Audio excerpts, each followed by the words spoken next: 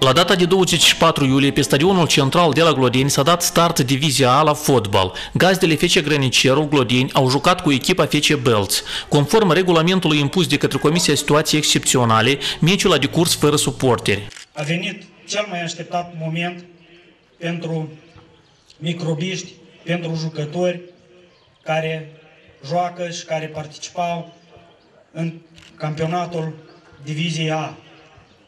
În situația creată de această pandemie s-a mai reținut cu organizarea acestui eveniment, acestui campionat, dar sperăm noi că totul este înainte.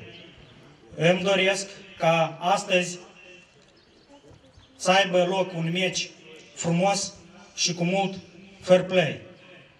Noi vă urăm succes și Consiliul Raional Glodeni a susținut și va susține în continuare fotbalul și anume prin fapte, prin reparația acestui stadion și prin sponsorizarea și întreținerea echipei de fotbal care este cartea de vizită a raionului Glodeni. Сегодня мы начинаем чемпионат Республики Молдова по футболу дивизии А.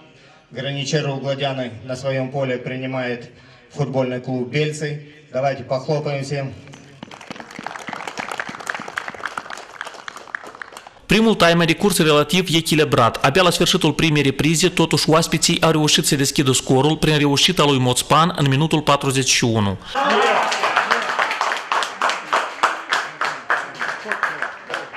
În repriza secundă, Fece Grănicerul nu a reușit să opui rezistență și în minutul 50 scorul deja era de 0 la 2 prin reușita lui Grosu. Meciul s-a încheiat cu înfrângere pentru Fece Grănicerul cu scorul final de 0 la 3. După reușita de vineri, Fece Bălți urcă pe primul loc în clasament. Vă reamintim că începând cu acest sezon, toate partidele din eșalonul secund al fotbalului moldovenesc vor fi transmise în direct prin intermediul platformei MyCujo.